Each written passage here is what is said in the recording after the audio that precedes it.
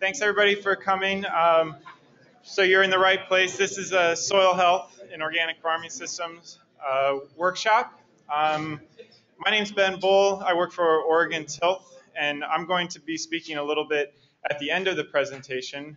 But uh, really excited to have our two main speakers here with us. We have first off is going to be Coach Smallwood, who's the um, executive director from the Rodale Institute in Pennsylvania, and he'll be uh, describing more about his work, and we're excited to hear him. And then after um, Coach talks, we have Doug Collins from Washington State University Extension, who's been doing some really great work there that we'll get to hear about as well. So, um, so I'll turn it over to Coach. So We can get started. So um, thank you all. I um, lessons learned growing up from my mother, in particular, is um, that you always say thanks in the beginning. You know, when you when you get there, say thank you. So thank you all for having me. I'll say thanks at the end too, but she would be uh, upset with me. She still sends me gloves, and I mean, I'm like 59 years old. I was like, Mom, I, I'm, I can get gloves myself. It's okay. She's very cute. She's uh, 85 now, so um, I, I honor her by following her rules. So I've been a beekeeper for, let me back up. I'm going to go into a lot of different things that we do at Rodale so you have an understanding for the Institute. I think that's important. I will focus on soil health, of course. But one of the things we do is our honeybee conservancy, and we think we have lots of lessons learned from the bees. I'm in my 20th year of beekeeping. We have a research project now that will begin at, at Rodale this coming season. And I'd like to talk about the bees as a great indicator of the health of the environment. Back in the 1940s, there were approximately 7 million hives in the United States. Currently, about 2 million hives in the United States. So if the bees are a great indicator of the health of the environment, we really need to take a lesson and, and listen to what they're telling us. Uh, their uh, honeybees in particular are, are in trouble. They're in decline, and there's lots of reasons that we think are possibilities. So is it the way they're treated, you know, traveling across the country? Is it what they're feeding them? Is it how they um, are exposed to pesticides? Is it GMOs? Is it UFOs? I mean, it could be a combination of them all. Right now, in the, in the US, uh, soon, about Valentine's Day, they need 1.2 million hives to pollinate the almond trees in California. Did you hear the number that I gave you before? There's 2 million hives in the whole United States. And in a few days, 1.2 of those 2 million will be in California. So what we're doing with the bees is, is certainly something that we need to reflect on. But here's what I reflect on. Uh, this day, I was opening some of my hives and inspecting. It was a springtime, and um, that's a, that's a frame. That's one frame. There's about 2,000 bees on that frame. I pulled two frames out, and they were glued together with uh, what they call uh, bridge wax. And it's really a good idea to break them apart and look at them individually. I'm looking for the queen. I'm looking for day-old eggs sitting up in that cell. And I made a mistake. It was my fault. I was working the frames apart and I dropped one. And so now I have 2,000 bees at my feet and I have 2,000 bees in my hand and they communicate with one another immediately. Something to the effect, uh, who is the idiot taking care of the hive today? This is not cool. And so they go into their defensive mode. And you know what they do, they begin to sting me. So I got stung on the neck a couple of times and on my arms, and I got this frame back into the hive. And it took me about an hour to get the other bees that were on the ground settled and also back into the hive. But I had an hour then to reflect on what it was they were teaching me that day. So the bees, as you know, they put the stinger uh, into your skin and they fly off. And what happens? They die. They only get one sting, honeybees. Other insects will bite. Uh, yellow jackets, you know, they get up your sleeve, that's big trouble because they'll keep biting. Bees get one shot. So the lesson learned for me that day was that those bees were sacrificing their life for the rest of the colony. They gave up their life for the rest of the hive. They needed to move this person that didn't know what he was doing away. And it worked.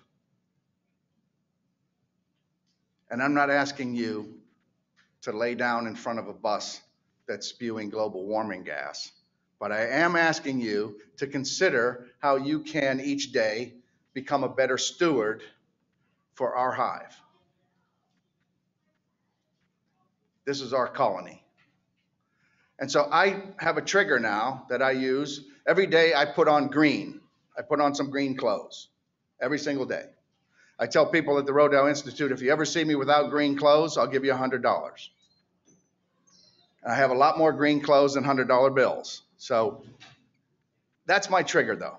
I put on green, and it makes me consider the start of my day as being the best steward for my colony as I possibly can be. And my goal is always to be a better steward today than I was yesterday, every day. And then I go outside for the first time in the morning and I thank all of the plants and all of the animals that were here before us because that's why we're here now. So I would just like you to sort of contemplate on that thought. Maybe consider, you know, what's your trigger going to be? And um, start buying some green clothes. So this is, this is the Rodale Institute. We have 333 acres, founded in 1947. Um, we, uh, you'll, you'll see diversity in some of the photos that I'm going to run, run by you today. But this is where I go to work when I'm not traveling. And it is um, a very special place. Lots of great energy there. Uh, the Rodale family bought this particular farm in 1971, and uh, we are considered to be the birthplace of the organic movement. So wherever you see the word organic, whether it's on a product, the NOP, uh, an organization, we consider it, all of those to be children and grandchildren of the Rodale Institute. This is our founder, J.I. Rodale. He also founded the publishing company, Rodale Incorporated, completely separate entities.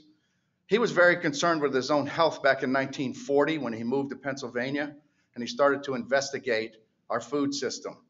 And what he found out was after World War I, they began to systematically and completely change the way our food was being grown.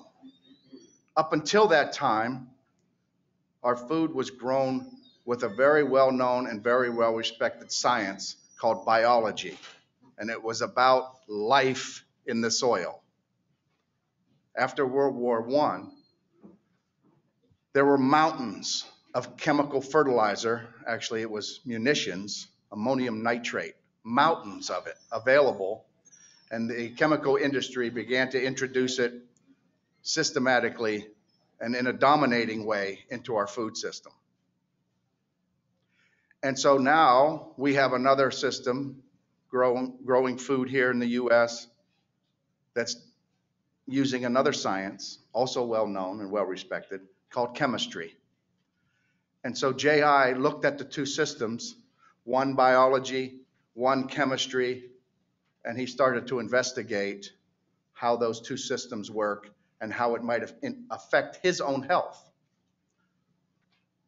And he read all of the greats, Eve Balfour, Rudolf Steiner, Ehrenfried Pfeiffer, and he investigated and taught himself about agronomy. And everywhere he went, Weston Price, Sir Albert Howard, every one of them came backwards to the soil. And everywhere you had healthy soil, you had healthy food and you had healthy people. Of course, he coined that phrase. So you have healthy soil. You see these people that have great bone structure, good teeth, living into their 90s and still riding the bike up the mountain. All the stories you hear about what healthy soil does for human health. And really, that's our quest. We have lots of research, and you're going to see some of it today concerning soil. We are researching healthy food, of course, but our ultimate goal is healthy people. And I tell everybody that we're trying to work our way out of a job. We want global human health. And when we get there, our job is done. Currently, job security is pretty solid. But we're not giving up. Here's Maria Rodale. Uh, this is my boss. She runs the um, publishing company now, and she's also co-chair of our board. Let me tell you a quick story about J.I. He loved books. He was a prolific writer, and magazines were his thing. So he cranked out Organic Gardening Magazine, Prevention Magazine. You see now uh, the company has Men's Health, Women's Health. There are pages and pages of titles that he was responsible for. Most of them were financial disasters, but he was very persistent and, and wouldn't give up. So one of my favorites he, he introduced back in the 60s, it was called You're Wrong About That. and it failed miserably. But about six months later, he, come out, he came out with another magazine. It was called You're Wrong About That Too. Seriously. To give you some idea of how JI's mind worked. So the family is still uh, very involved. Uh, again, Maria's our, our co-chair. Her daughter is now a board member, Maya Rodale, and uh, they they are indeed um, supporters of what we do. And here again is what we're talking about today. This is this is really the crux of the situation that we have to consider. We want to replace chemistry and biotechnology with biology. So yesterday, in the leadership forum, they asked me, um, give us a goal, give us an objective for 2015. And you know what mine was? Begin to systematically and completely eliminate toxins from our food system. Completely eliminate toxins from our food system. That's where I'm taking the Rodale Institute. We want to ban poison from our food system. It just doesn't make sense to us anymore. And we're not going to put up with it. And we need your help. And I'll show you how you can pitch in with us in the coming year. So uh, most of you understand what organic is. Uh, we like to mimic natural systems. We like to grow with nature, not against it.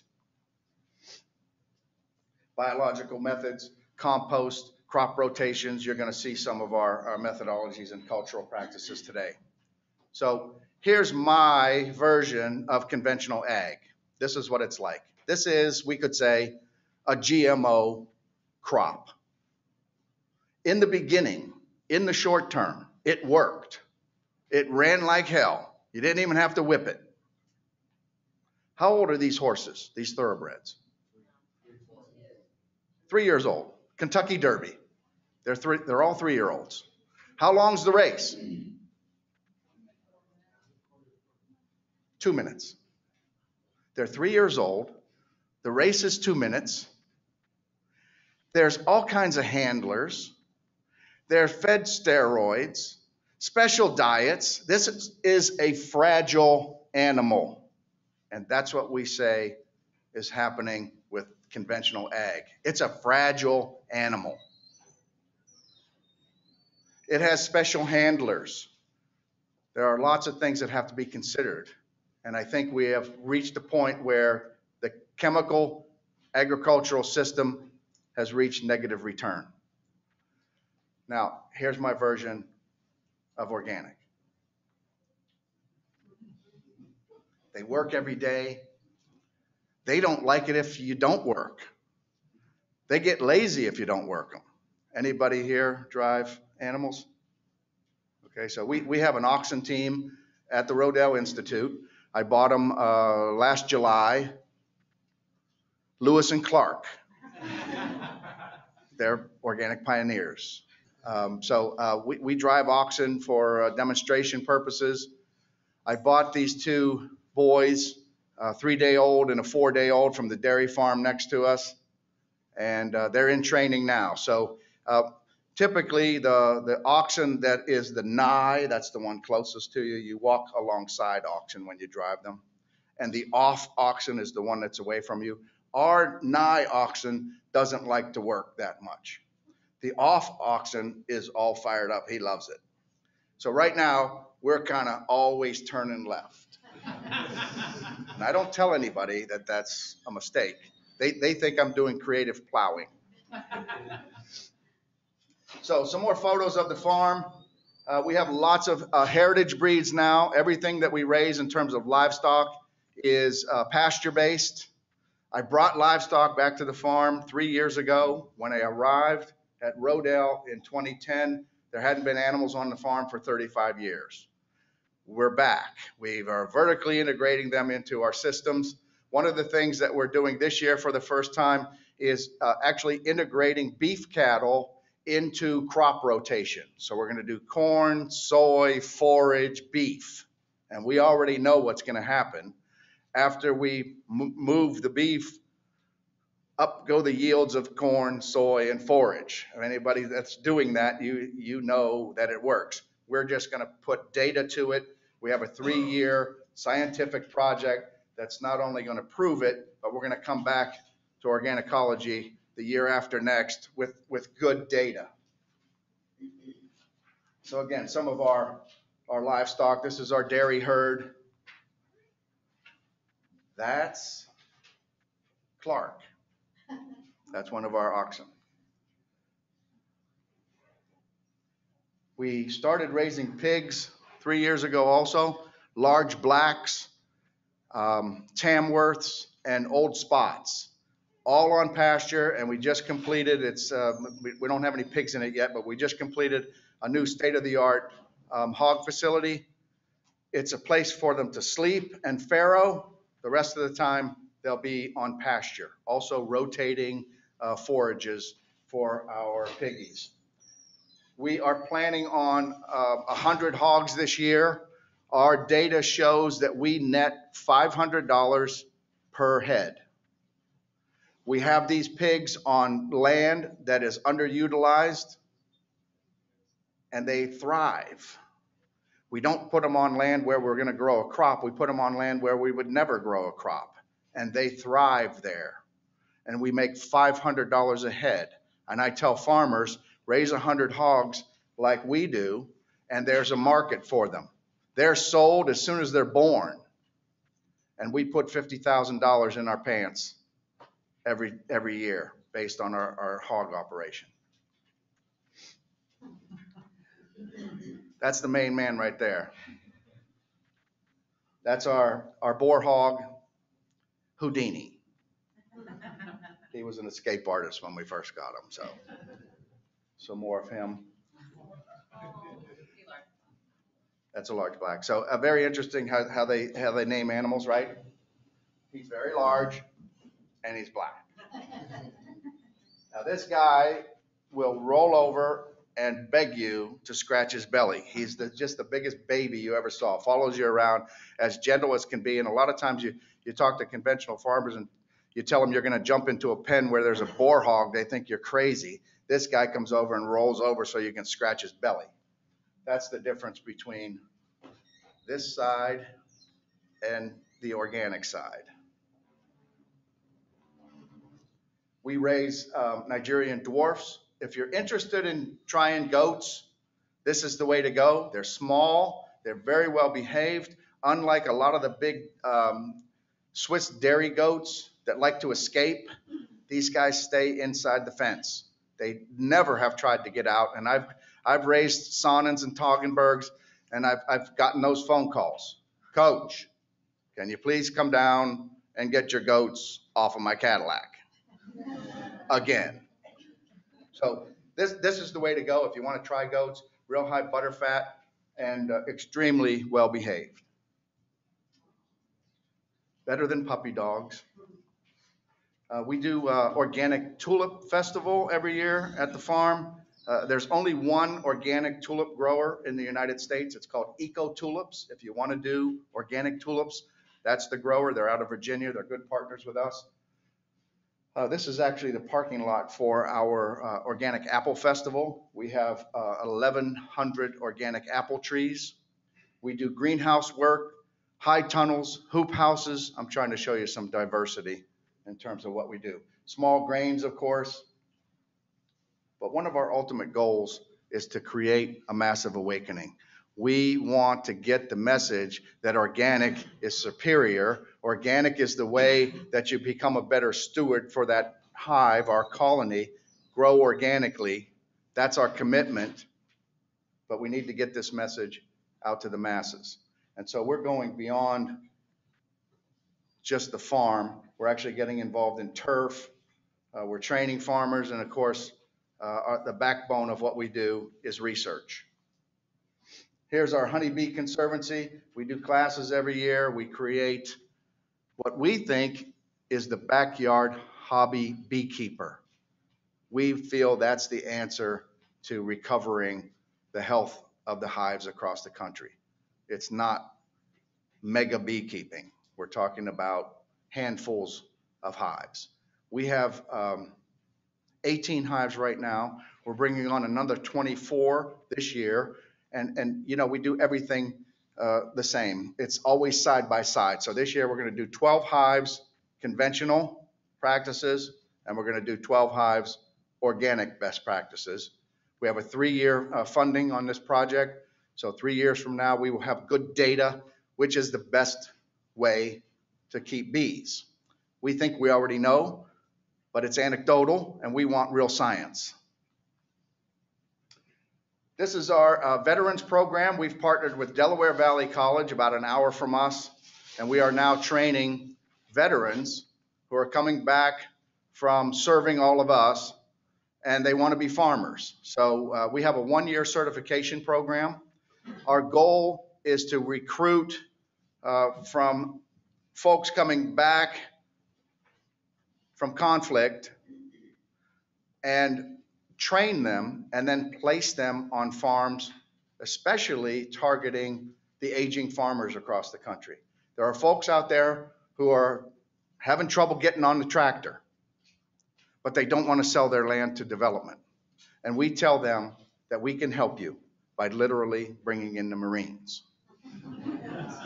So that's our program.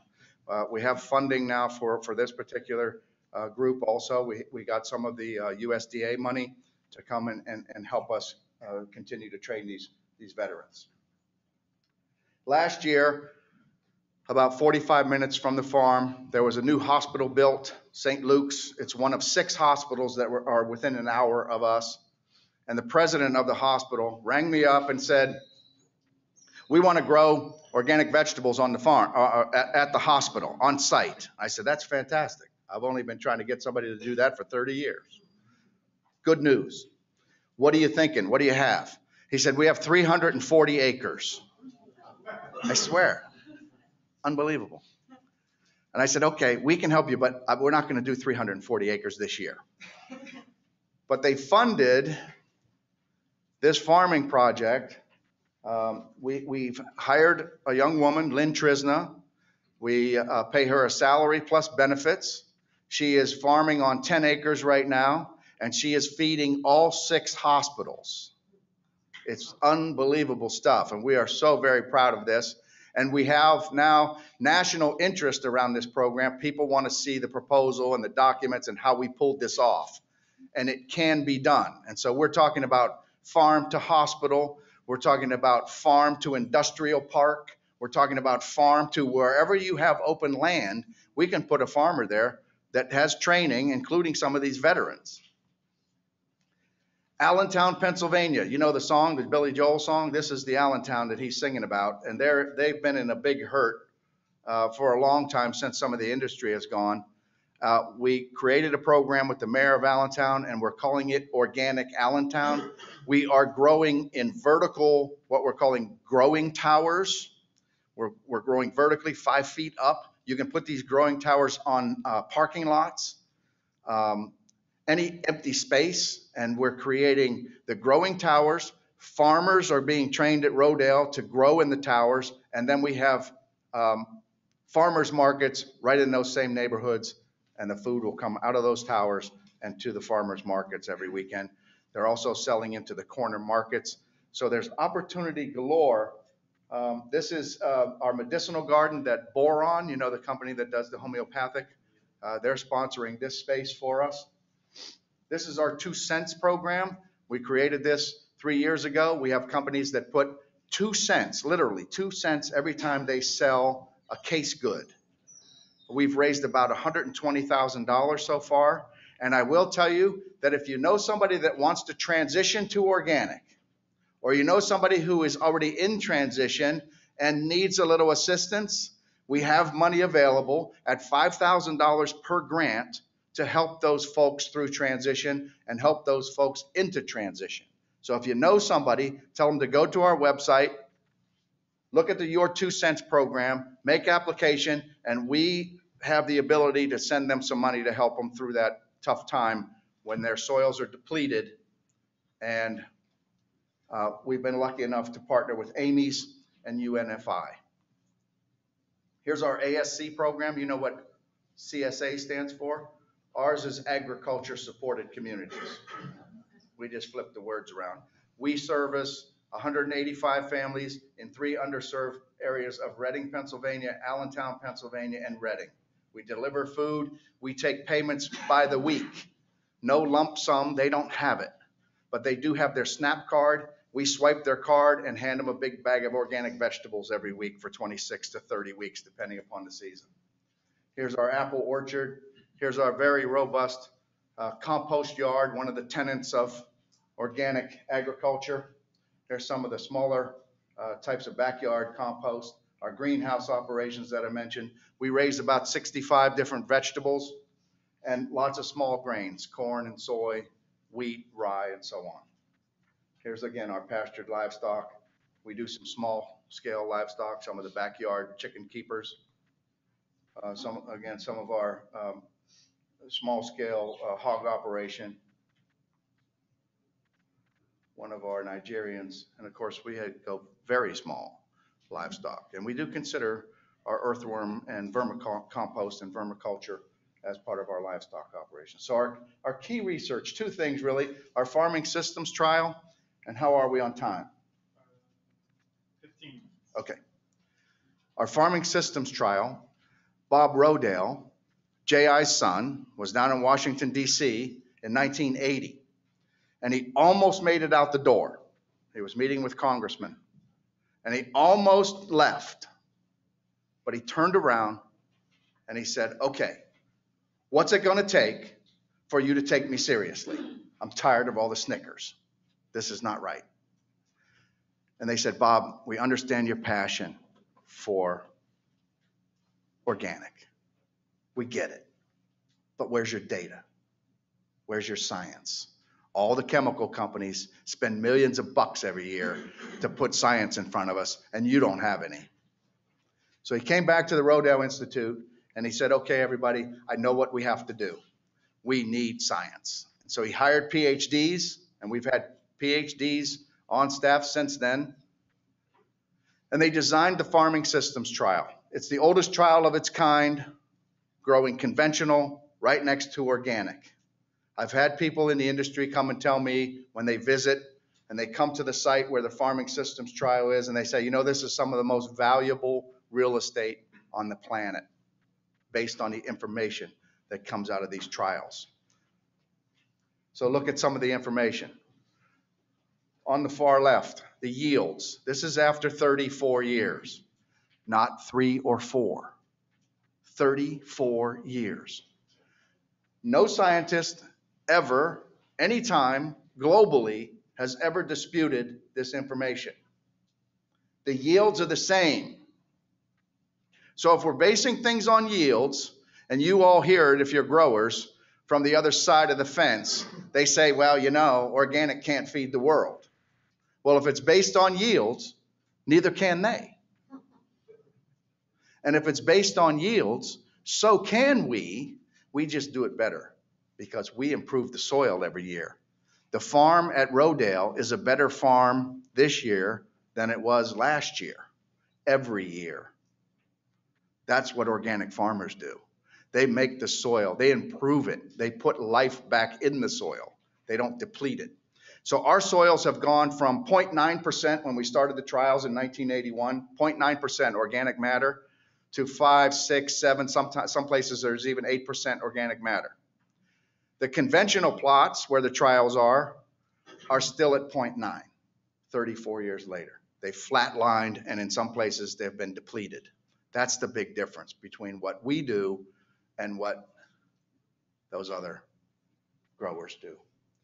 We make more money, we use less energy, less greenhouse gases. This is one of the uh, experiments that we use at trade shows a lot. We like to take these fish bowls. Uh, that's uh, organic soil right out of the farming systems trial. We take about a softball size, uh, drop it into the water. Then we take the uh, conventional soil, about a softball uh, size ball of it, drop it into the water. This happens instantaneously. It just falls apart as soon as it hits the water. I put the timer on the organic soil and I've had it go 100 and, I'm sorry, uh, an hour and 20 minutes without beginning to fall apart.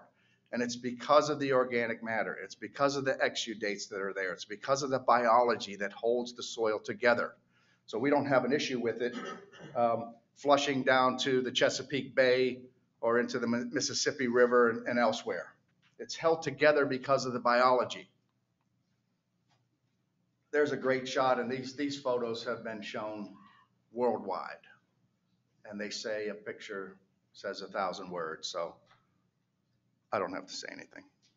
How many years of conventional growing on, on the right? How many years? I'm sorry. have they been treated? It's a thirty-four year study of both, right? Thirty Yeah, years? yeah, it's, th- th- these are soils from the same trial. So I don't know what year these soils were taken, but that's probably 20 plus years ago. And as I said, 0.9% is what we see throughout most of the trials. So here, here are the way the trials are set up. We grow conventional using actually now uh, GMO seed. We started growing GMO corn and soy in 2008 because that's what the industry asked us to do.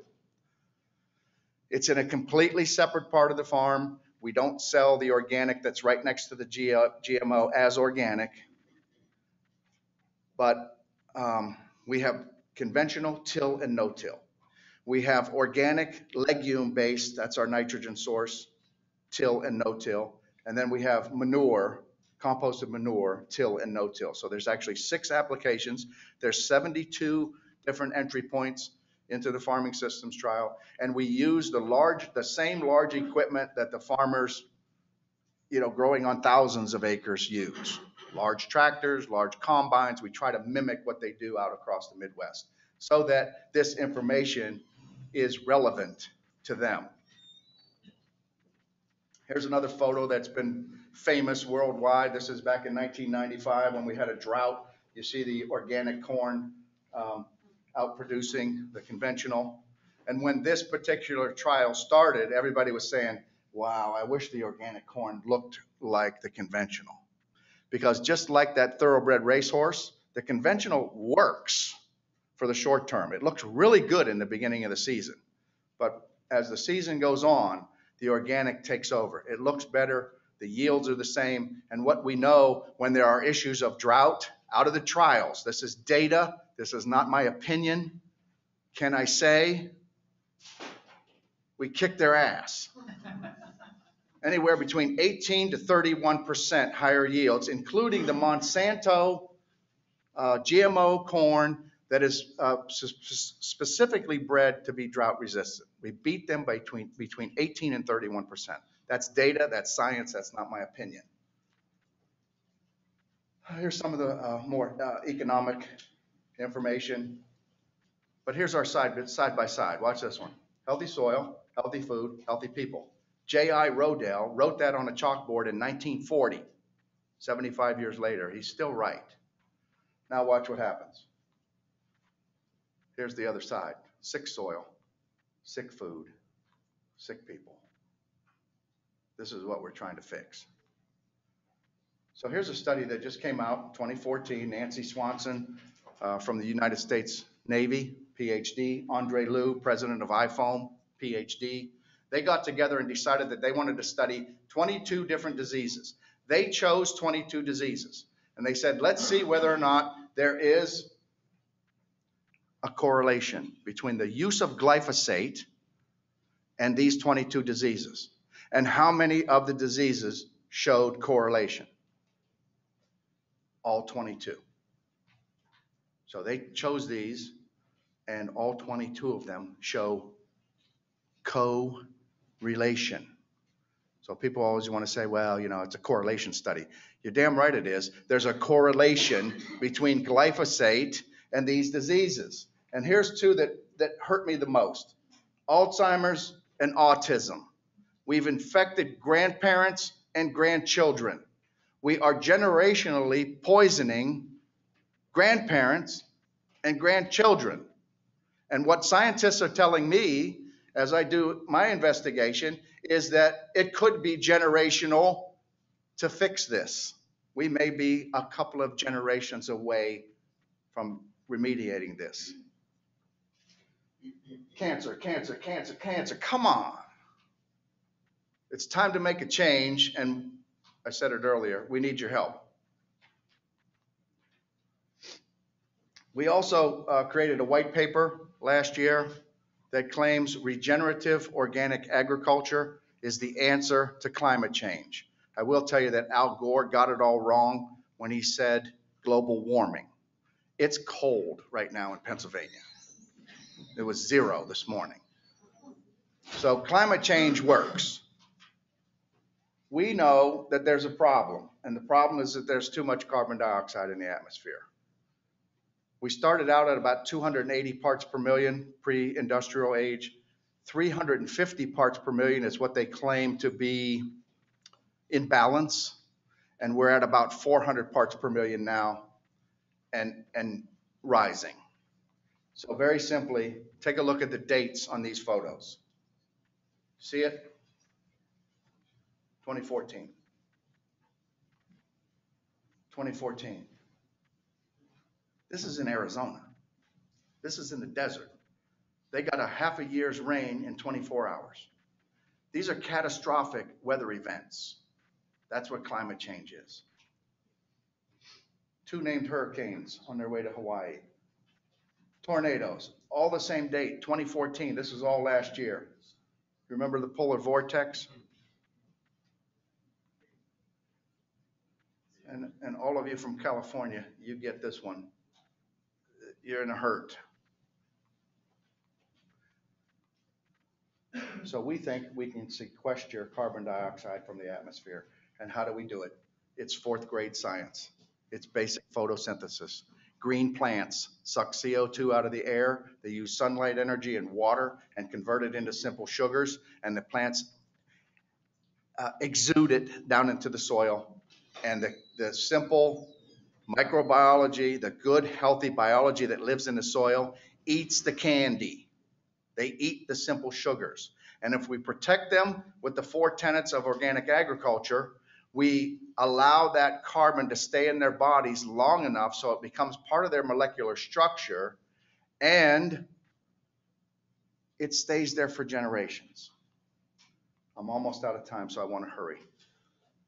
Here are the four tenets cover crops, crop rotation, reduce tillage, and compost. That's how we protect those microorganisms. Here are some cover crops for you.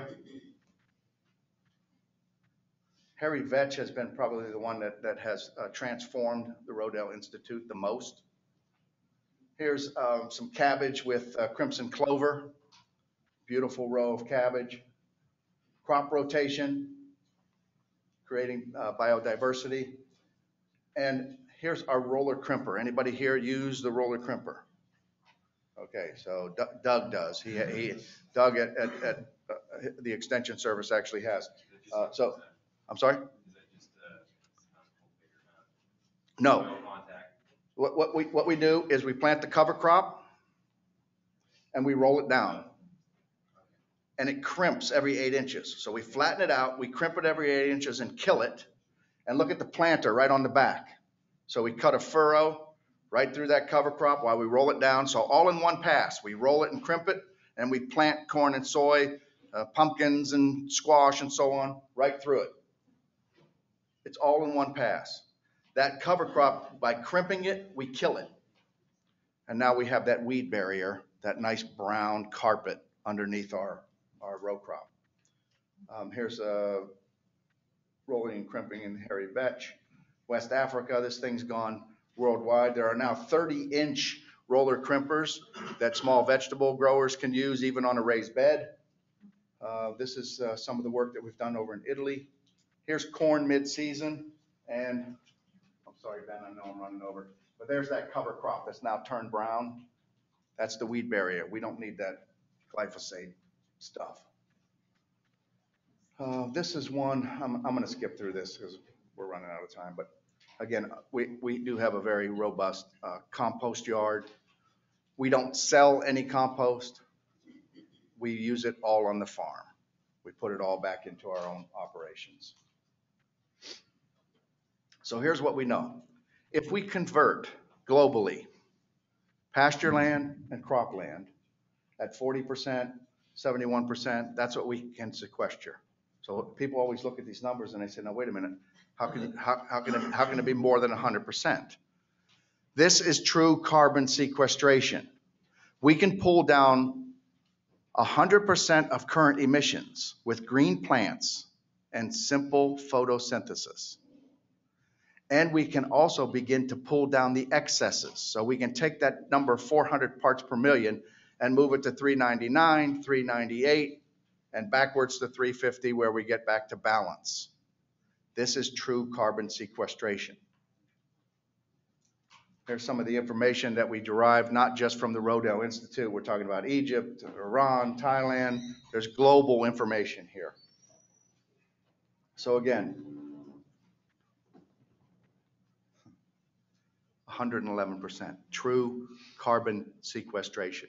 Our white paper will be available in the booth if you want copies of it. Uh, And it's also on our website. You can download it. So again, we can, we can, we can take that number past 100%. So last year, I took the paper, I walked out to the end of the driveway at the Rodale Institute in Kutztown, Pennsylvania, and I started walking. And we called it the Walk for the, or an an Organic Planet. And I walked 162 miles, and I hand-delivered it to the USDA in Washington DC. They were very gracious. They gave us about a two and a half hour meeting. They paraded everybody into the room to meet us all. And we think that we got their ear. So this year,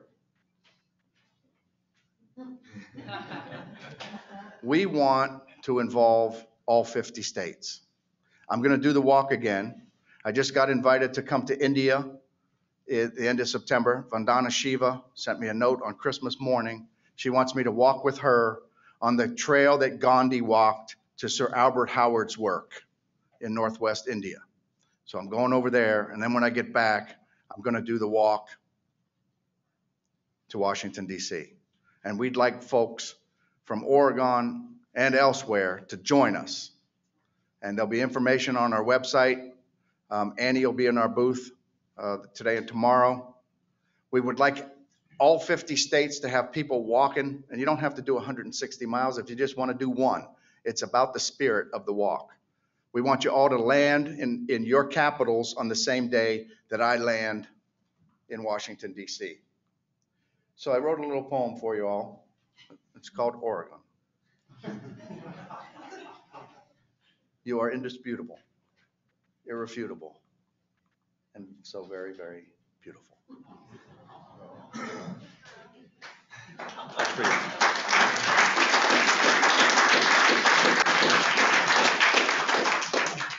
Now, I'm- I'm, I'm done in a minute. So here's what we're beholden to. It's our children, our grandchildren, and the generations to come. Because they're gonna ask a question, and we're gonna have two possible answers. And it's gonna be about us and about our legacy and what it is that we left for all of them. And so the question goes like this. So, were you involved in all of that? Mm-hmm. And some people are gonna have to say, yes, I was. So very sorry. And so some people are gonna have to say, yes, I was. I'm so very sorry. We, we blew it. We're heartbroken. And we don't know what to say. Or the question will be, so were you involved in all of that? And we'll be able to say, yes, I was. So proud to say I was an organic farmer. I helped start the movement. And we proved that we could do things that were previously thought to be impossible. And we did it for all of you. Thank you. All right, thank, uh, thank you very much, Coach. That was a very inspiring talk. Tough act to follow, um, especially this time of day. So I hope you can all stay with me. But uh, again, I'm Doug Collins. I'm at the Washington State University Research and Extension Center in Puyallup, Washington. And I want to um, thank you all for having me. It's a pleasure to be um, at Organicology. And I also want to take a minute to thank the co-conspirators in this work, so I don't forget to later. Um, project directors Chris Benedict, Andy Bary, Craig Cogger, and Drew Corbin. Um, two graduate students are working on, or Sandra has finished, Sandra Wayman has finished, and uh, Bethany Walters is currently working. So I borrowed from their work liberally for this presentation as well.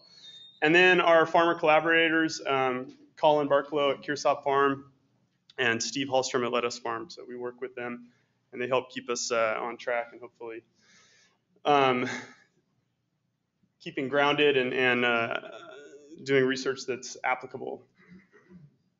Um, so the, as you know, the National Organic Program um, has this statement that encourages or even um, requires that, that organic farmers uh, implement tillage and cultivation practices that maintain or improve the physical, chemical, and biological condition of the soil. And so soil is at the center of our work in, in terms of reduced tillage, organic agriculture but also um, in that area is weeds. You know, cultivation. The, the reason that uh, we do a lot of cultivation organic agriculture is to control weeds. So if we start to take away one of these tools, we have to um, watch that and make sure that um, we're still able to to control weeds and grow grow crops. So that's the soil health is really at the center of what we're doing. But in order to do this, we have these other spheres that we pay a lot of temp- uh, attention to. So cover crops are, are instrumental to what we're doing in reduced tillage organic agriculture the varieties of cover crops, and then also how are we going to kill them when people when uh, reduced tillage agriculture is practiced in conventional agriculture, herbicides are instrumental to the whole process. It would not work without herbicides. So how do we kill the and they're used the herbicides if they do use cover crops, they're using them to kill their cover crops. So how do we terminate the cover crop without herbicides? That's a, that's an issue.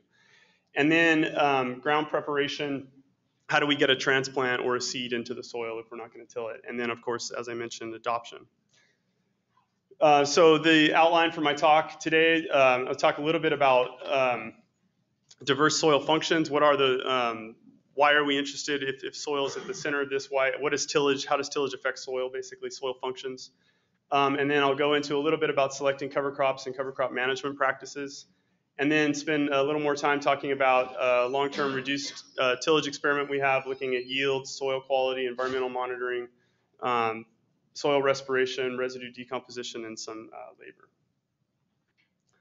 Okay, so uh, tillage is important for um, all agriculture. Uh, organic agriculture especially relies on it for managing weeds, and um, you know we tend to, if you are using cover crops, you're going to have a lot of residue.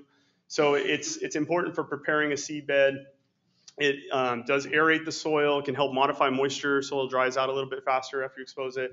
And uh, temperature is important. It by exposing the brown earth to the soil, it's going to warm, or to the sun, it's going to warm up a little bit uh, more quickly.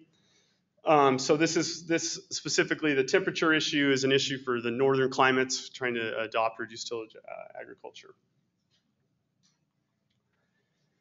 We know a lot about soil quality. We know a lot about practices that in, encourage the, the different aspects of soil quality. Um, soil quality is the capacity of soil to function over, over a long amount of time. So um, the function we're usually interested in is plant growth. And um, organisms are central to that. So these are four uh, principles that um, have been expounded to uh, help improve soil quality. Use plant diversity to increase the diversity in the soil biota.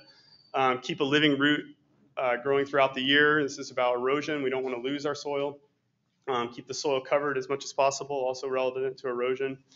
And manage more by disturbing less. And so it's that last one that uh, we're focusing on with reduced tillage organic agriculture. And this is from another farm um, that uh, is in incorporating um, growing squash and reduced tillage uh, agriculture. This is a Cascadian home farm up in uh, Skagit County there. So.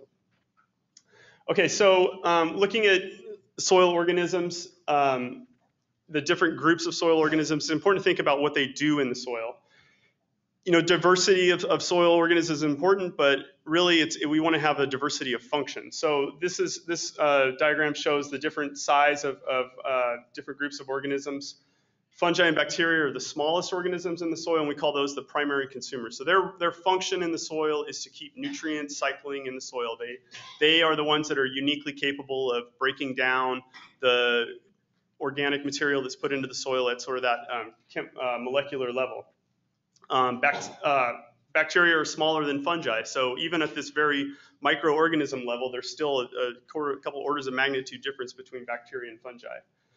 Um, secondary and higher consumers, nematodes, uh, those are the organisms, these are the organisms that are going to be feeding primarily on bacteria and fungi. So bacterial feeding nematodes, fungal feeding nematodes, protozoa are just bacterial munching machines. So you're not going to have the nutrient cycling if you don't have the secondary consumers to come along and eat those other organisms.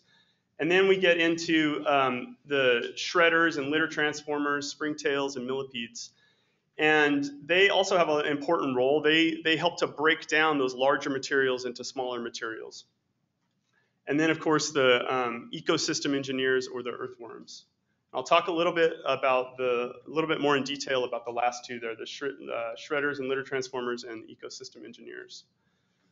Um, so litter transformers like the isopods and the centipedes, they um, speed decomposition through what's called an external rumen um, reduces the size of debris, encourages colonization, and disperses uh, materials and microbes. So we have, to, we have to deconstruct this term external rumen really quick. So everybody knows what a rumen is, right? That's what cows have. And so cows are able to eat green material, and then the microbes inside of their stomach help to break it down and get at that energy that they have.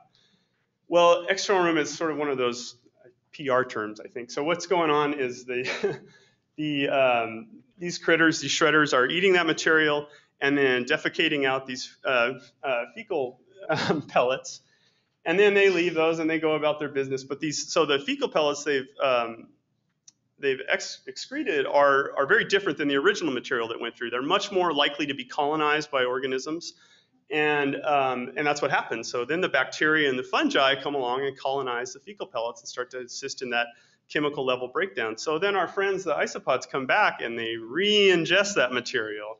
And on the second way through, they get a lot more energy from it because it's been worked over by the microorganisms. So these, um, and then so that that helps them, but it also encourages microorganism growth. And then they're spreading these all over the soil, so they're helping to, they're helping um, decomposition processes.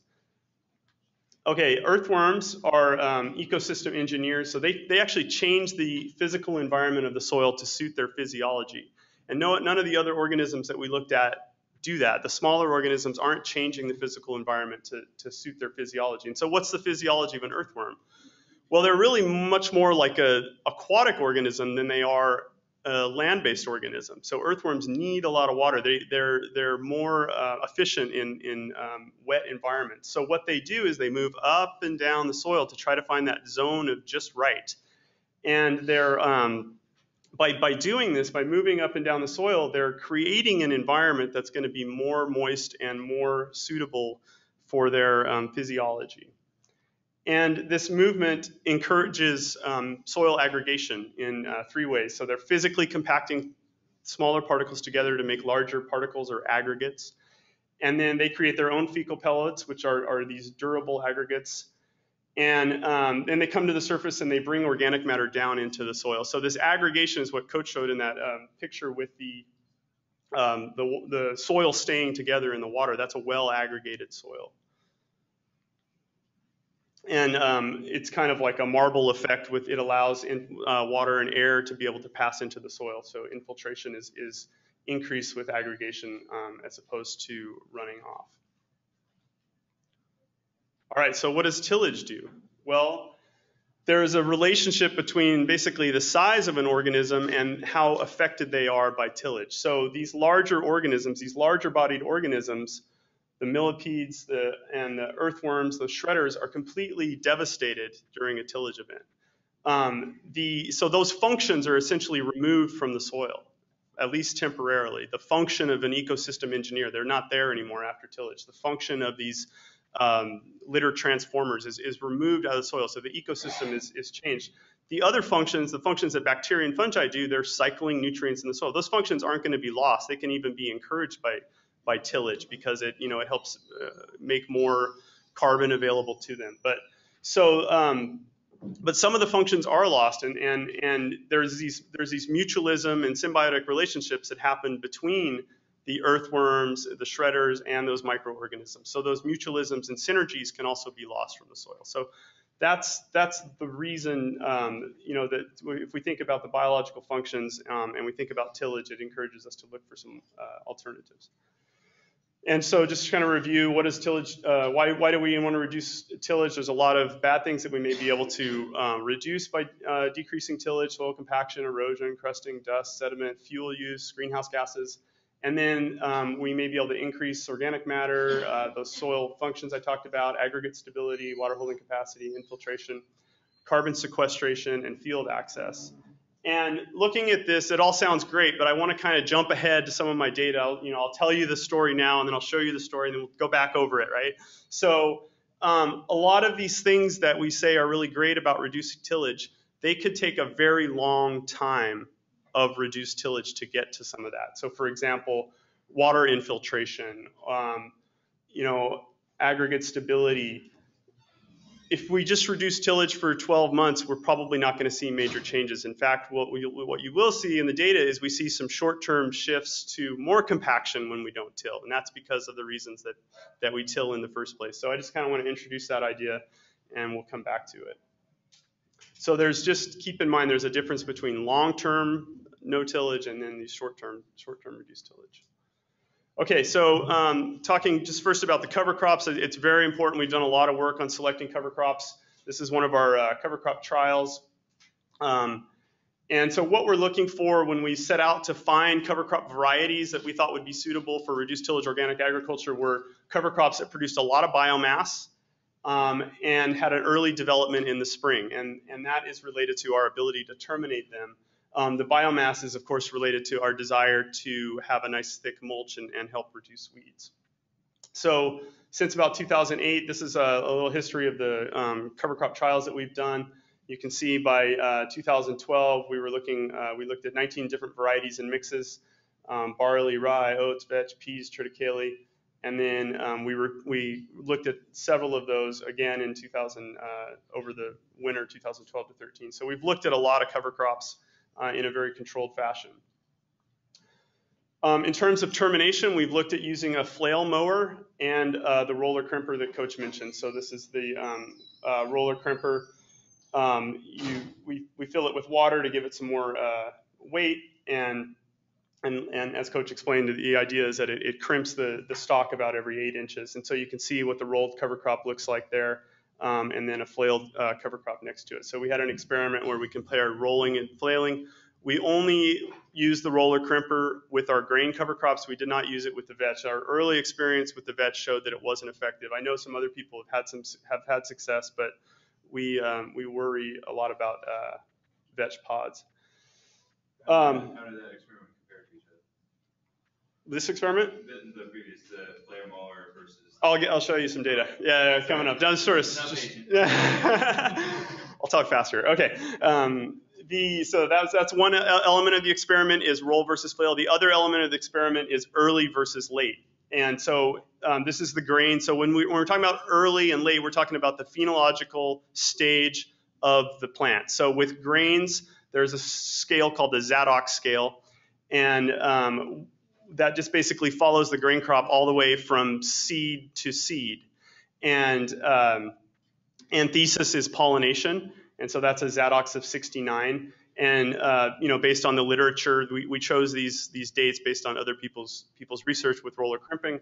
Um, that that's a, a, a stage where they've had success with rolling the crop and then getting it to stay down because these are annual crops, so they are basically wanting to produce a seed. That's what they want to do, produce a seed and then die. So we're trying to get them right at that moment before the seed is viable, knock them down. Uh, with in the roll, case of the roller crimper, um, you know, put so much stress onto them that they're not able to, that they basically are going to die. And so uh, early was late anthesis for us, and late was um, early milk. So not, we're not talking about a very long time difference here, um, and it really depends on the variety, as we'll see. So that's the story with, with grains. And then with vetch, there's a scale from a paper uh, by Mischler et al. in 2009, um, a very uh, detailed way of determining what percentage of flowers there are. It's, it's very interesting when you get out there and do the work because you'll, as soon as the as soon as the vetch starts to go into bloom, and this happens a lot with I think with organic farmers, you don't want to have vetch seeds and you're you don't want to create a new weed. So as soon as you see that first bloom, you'll see a little bit of purple, and you'll ah, you know it's it's it's it's in it's we're gonna get seed tomorrow, and and it's um when you actually go out and, and do the the analysis, at least the way Mischler has it, it, it's a long time before from when you see that first flower to when you see a pod. So there's a lot of time there to let the plant keep growing. Um, and so we use 60% flowering as our early and then 100% flowering as our late. And again, the reason we're not going to this stage is because we don't want to let the plant create pods. Um, and we are we were using um, just flail mowing, not rolling. From what um, talking to researchers more about this topic, I've they've told me that at, it's basically at this stage when you do start to get these pods that aren't viable, that's when they've had good success with the roller crimper. I'm still would would like to you know do some of my own research to see that at least in our climate. And what works in our climate may not work in everybody else's climate and vice versa. So we have very wet soils in the spring, and I think this is a pretty tough crop to kill when it's got all the water it needs in the soil and you're just going to roll over it. I'm skeptical. So um, we will maybe uh, try that again another time. Um, so this is what the experiment looked like. Early roll and flail has been done on the right, and then waiting for um, termination with the late uh, termination. That looks like barley there. So, so what we found with rolling versus flailing, um, it depends a little bit. So again, we only rolled with the grain crops. And the ryes are a little bit easier to kill with the roller crimper in our experience. The strider, we really liked that in the beginning because it had great biomass and it has uh, early development, so you can you can get it. it. It hits that early stage, that anthesis, pretty quickly in the spring. So we liked it in the beginning, but after looking at it a little more in a controlled setting, we found that it um, it was a little bit harder to get to stay down. So you can see the strider barley there. Those big numbers in this case is, is bad. Um, that means that it, you know, it may have looked good on the day of the rolling, but you come back the next day and it's kind of starting to stand back up. So you didn't really, you didn't really kill it. And I know other people that use roller crimpers will often come and do it two times. Um, and, and so we didn't want to, you know, we didn't want to do that in our experiment. So we were just doing it one time. Um, but also notice Aroostook rye uh, rolls and stays down very nicely. Um, in, in 2013, there was no difference between the early and the late. And in 2012, you can see the late rolling of a really, you know, zero coming back up. So we, we liked Aroostook in this, in this setting. Um, and now we're looking at the biomass. Um, and this is just an average over early and late. So um, Aroostook, again, putting on a lot of biomass. Um, Strider, as I mentioned, we've, we've seen great biomass out of Strider barley, but it doesn't roll real well. It's not, and, and this, if you look at them, the barleys have a much thicker stalk at the bottom than the ryes, and I think that's why.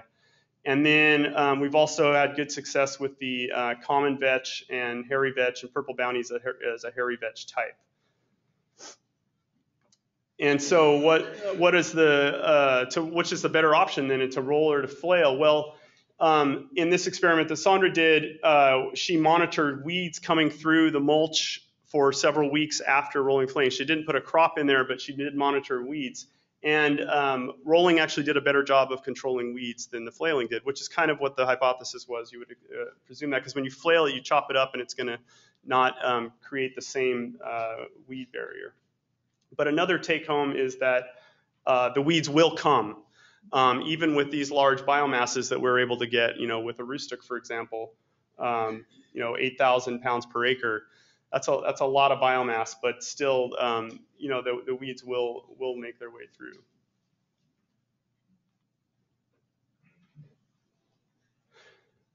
Okay, so um, this is looking at the, question of um, development, phenology, phenological development. So this is two years of data averaged together and then um, based on growing degree days and then taking a typical calendar date. So this is really um, valuable information. And what this showed for um, it, what it showed for the grains is that um, barley is very quick, as you can see. So um, by about 16 May, barley is, is starting. So again, the anthesis is right there at 70.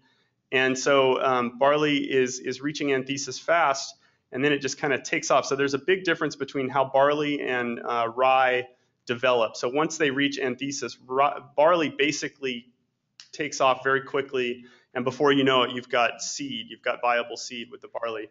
The rye will kind of hit anthesis and then plateau a little bit more. Um, and, and that's good from a management perspective because you don't necessarily want to roll on a day that it's raining. It's gonna, probably going to be less effective. So you, it's nice to have a little window to get out there and do the do the work. And then you can also see that this the Aroostook variety is maturing a lot faster about getting to where we would want to terminated about three weeks earlier than common rye. So that's been an important thing to learn. And then um, looking at the vetches, you can see a big difference with the common vetch um, really maturing quickly in the spring um, as opposed to the hairy vetch. And again, purple bounty is a hairy vetch type. But we liked these three varieties based on, on this work, so we really like Aroostook. You can see a, a number of things good for Aroostook. It was easy to roll, it matures quickly, um, it had a lot of biomass. So Aroostook is really sort of hitting all those things we were looking for. And then uh, common rye uh, we like a lot. And then we, we actually had purple bounty in our um, experiment uh, for a couple of years. And um, it's a little bit better uh, than the uh, uh, typical hairy vetch, the, the named variety there. Lana also, the Lana is a woolly pod vetch type. It matures quickly, but as, if you remember from the biomass data, it was not, not nearly as good as the common or hairy. Okay, so um, in our experiment, we are looking at, um, so this is a in a different part of the field, and now we're, we're looking at growing crops in um, with these different management techniques, and also looking at soil quality. So we're looking at yield, soil quality, um, you know, how much time are we on the tractor, um, weeding, all those kinds of things. So the, the five different treatments that are there is our, I guess, start with the business as usual would be the flailing plus complete tillage. We use a spader for that. And then we have um, flailing plus what we call no-till and then strip till. And then we do the same thing with roller crimping, strip till, and no-till. One modification we made to this after the first year is that we introduced vetch into the experiment. We originally started with all um, grains, but we, we really liked the way vetch did in our um, trial in our cover crop trial, so we introduced vetch. And what we do is we plant vetch before broccoli. So in the year that there's broccoli, we, we're not doing the roller. We're still not trying to roll and crimp the broccoli in this or the vetch in this experiment. So when the vetch is there, we're, we're just flail mowing that, that part of it. And so you can see our rotation. We go um, grain followed by beans, followed by vetch, then broccoli, which is our, our, highest nitrogen demanding crop, and then followed by grain. And so we've we've gone to Aroostook as our grain, and for the first three years we used, or for the, the last two years of the three years we used purple bounty, um, hairy hairy vetch as our uh, vetch there. So we have two ways of killing the cover crop and two ways of preparing the soil, and I'll show you what that looks like next. So this is our no-till. We call this a no-till planting aid there on the left. Um, it's basically just a shank uh, behind a coulter. So the coulter cuts the, the soil and the shank just opens up a little um, furrow to, to put a transplant or a seed in. And then this is our strip tiller. This is a Yetter um, strip builder. And this is a, a commercial product just off, off the market. Um, and so here you can see this is one of our on-farm trials. So that's Steve Hallstrom with the strip tiller, um, is preparing some ground in some, uh, I think this was Strider barley. And so again, this is off the shelf. These are used commercially. Um, they're used in environments where people don't have a lot of residue. So they are, you know, a lot of the people that are using strip tillers, they either are not growing cover crop, or if they are growing cover crop, they're coming and spraying it when it's pretty small, so they don't, they avoid getting these large residues. So that's Steve strip tilling. This is Steve and me trying to pull the residue out of the strip tiller. so, you know, it, it does a decent job of, of breaking up the soil, but um, it's just not really made to deal with this residue. And this has been a, a continual problem that we, that we've dealt with. And again, this is a ground driven strip tiller, so it's only working the soil um, you know, as fast as you drive. Uh, there's no PTO. It does have a very nice heavy heavy shank so that, that it gets deep into the soil and, and opens up a nice furrow. But it doesn't do a lot of a lot of times when you're done, you can't tell the difference between the strip till and our planting aid, our no-till. Okay, so looking, um, I'm going to just talk now a bit about some of the soil quality parameters that we've looked at. Um, you know, so when we talk about soil quality, it's just kind of a mixture of parameters that we're able to measure. So one of the things we're able to measure is water infiltration. How fast does the water um, move through the soil? Um, it's a pretty simple test. And uh, penetrometer, this measures compaction. You know, how, how compact is the soil? How much, how many kilopascals does it take to push that thing through? Um, and, and, it also takes a measurement that can be averaged over um, every five centimeters or 10 centimeters so you can get a nice profile of how compaction changes down through the uh, soil profile. And that's, uh, you can see they're measuring compaction in, in, a reduced tillage setting. Bulk density, that's just the uh, mass of soil per volume. Very standard um, soil quality parameter. You know, it gives some indication of, of what roots are up against as they try to, to expand into the soil. Um, microbial biomass, soil respiration, nutrient availability. Soil respiration, we're talking about how much carbon dioxide is coming off of the soil um, at any given moment. And so we've, we've measured um, soil, we've done a lot of work looking at, at soil respiration. So looking at carbon dioxide, especially in, in this instance. And we've also done some work looking at uh, nitrous oxide. I don't have any of that data today, but show you some of the data of, of just how much carbon dioxide is, is, is coming out of the soil in these two different tilled and no-tilled. What are you end up storing those off gases to be able to analyze it? So what you can't see um, on the little cart here is called an infrared gas analyzer. So Yeah, we're doing, we're just taking the meter. The way, um, the way this works is, this is called a um, closed cell dynamics, a dynamic closed cell system. So the dynamic part means that there's a little collar that this is fastened onto. So the collar sits in the soil, but when the lid is not on it, it's just open to the environment. So it's experiencing the environment as, as the rest of the soil is. And then we put that collar on, we seal it with these high-tech um, paper clips, and then, or binder, binder clips, not just paper clips, binder clips. And then, uh, but we, we get a nice tight seal and there's some foam around it, so it's, it's pretty airtight. And then we take a reading for just two minutes. So it's, and what happens is the air circulates into the gas analyzer, back into the chamber, and that happens for two minutes. It is, ob- I'm guessing it's obviously calculated off the surface area of what you're. And then we know the volume of the chamber, yeah. Part of the- Yeah, so we take into account all that. And uh, yeah, and you can measure the ambient CO2 just by letting the, and it's, you know, 400, 420. So that's, uh,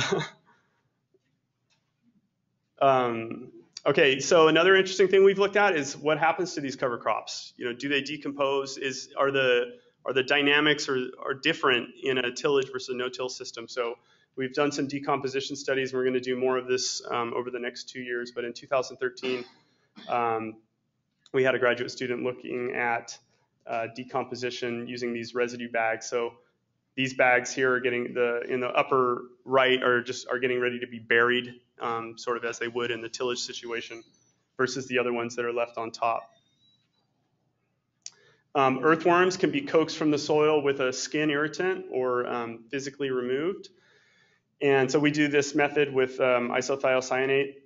And we have done this in our experiment. Um, it turns out that the place where we put this experiment is pretty sandy soil. It's a, it's a bit sandier than another area of the farm. When we did our first reduced tillage work at Puyallup, we had it in another area of the farm that was a little higher in silt, and we had a lot of earthworms. We saw big differences in earthworm populations between tilled and no-tilled.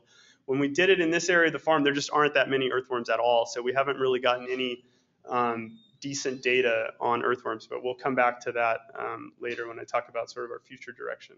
So no, no earthworm data today, but it is a good method um, to, to, to get them to come out of the soil, and you can see what you're doing to those ecosystem engineers.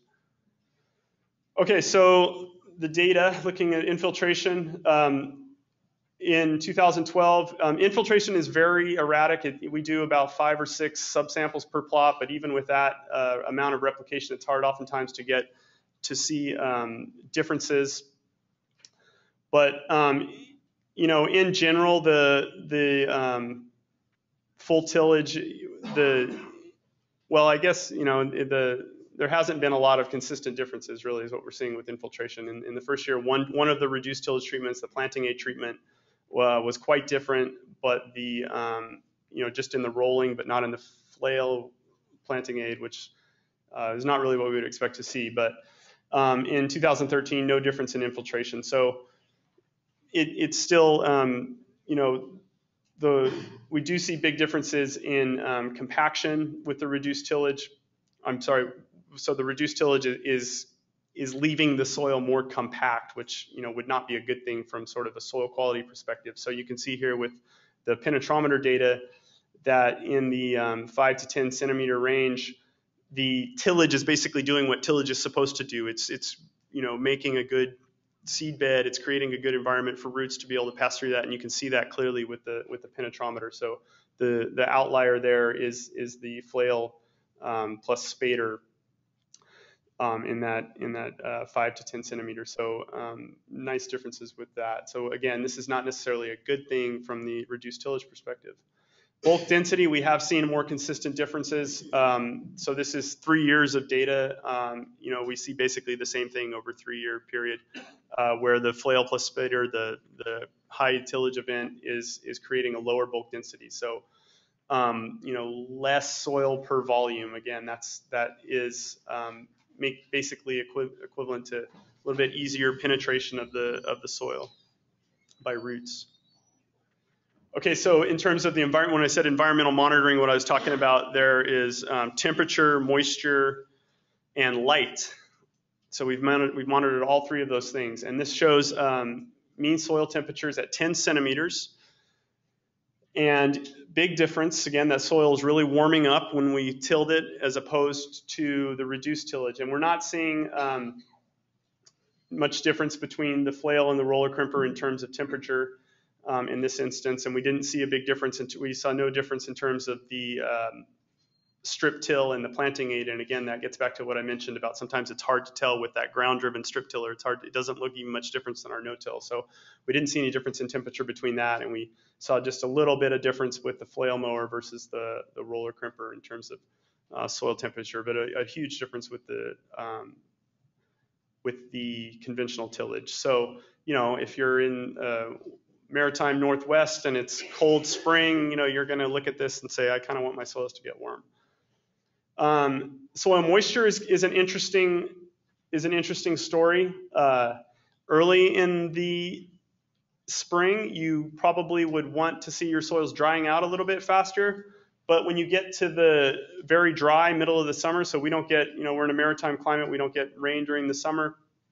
Um, having a little bit more moisture, which is what we found in the reduced tillage, is, is a good thing. You've got, you know, that mulch is uh, that's one of the other things mulch does is, is keep soil moisture in there. So you're seeing more uh, soil soil moisture in the reduced tillage treatments, again at 10 centimeters.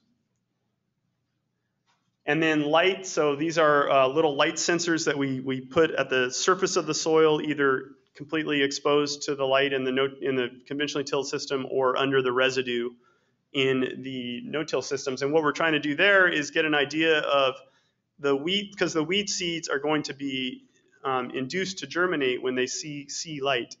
And um, you can see that the mulch does a does a decent job of um, of blocking light, but some light still gets through, and you know it doesn't uh, it doesn't take a lot apparently for weeds to to sense that. But in, it is uh, the concept of, of having a mulch to to you know suppress or remove light from from the ground definitely works, but whether it works well enough is a question.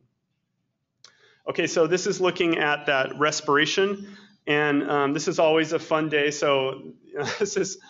Uh, sometimes we're not great farmers because we're trying to be great scientists. So, um, but this is one of those things where you know, okay, we have to till, and it you know, it sound, doesn't sound like a big deal, but for us, we have to get very geared up for the day that we're going to till, and and we actually um, we till and we run out there and we we drop our uh, our pan in the soil and, and we try to get a reading within about two minutes of when the tiller went over. And then we take a reading for the next 30 or 40 minutes consistently. And then we go on to the next plot and we do it again.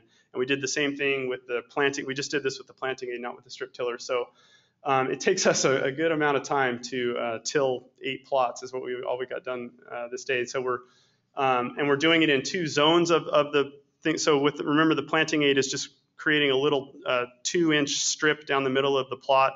So we're putting one of our um, collars right on top of that two inch strip, and then we're putting another one in the no till in the zone that wasn't tilled at all.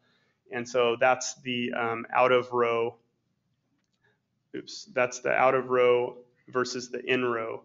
And with the with the spader, it's basically there's no out, there's no difference between the out of there's no you know it's the whole plot's being tilled. So you can see a big um, bloom basically of carbon dioxide on the day of tillage. So this this graph is showing hours um, since tillage, so through the first 24 hours.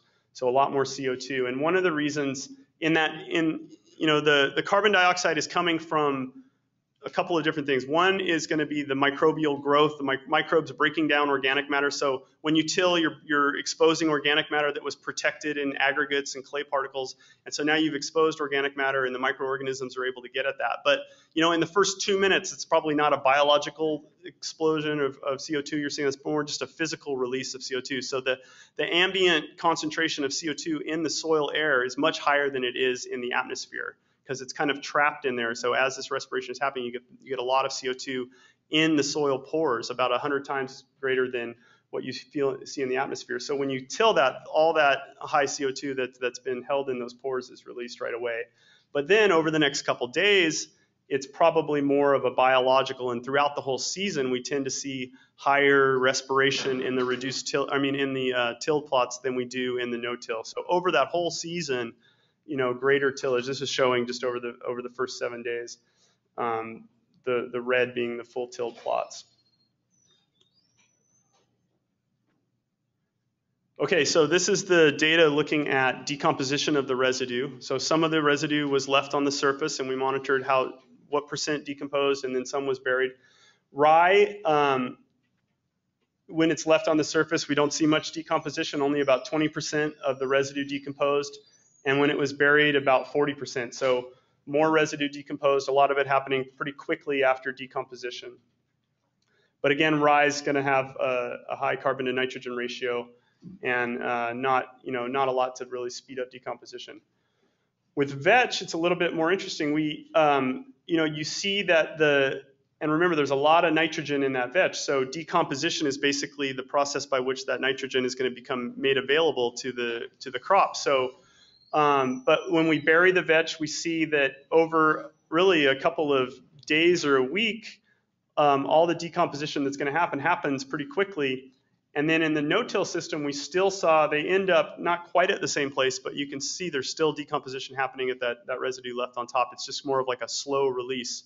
Um, we don't have data looking at what happened, actually happened to the nitrogen, but we do know from our experiments that you know we can see the nitrogen is definitely getting to the plant that's grown with a, a no-till vetch situation. So we're not seeing nitrogen-starved plants where, where they had the reduced, where the vetch was left on top versus where the vetch was tilled in. We know the nitrogen is getting into the plant.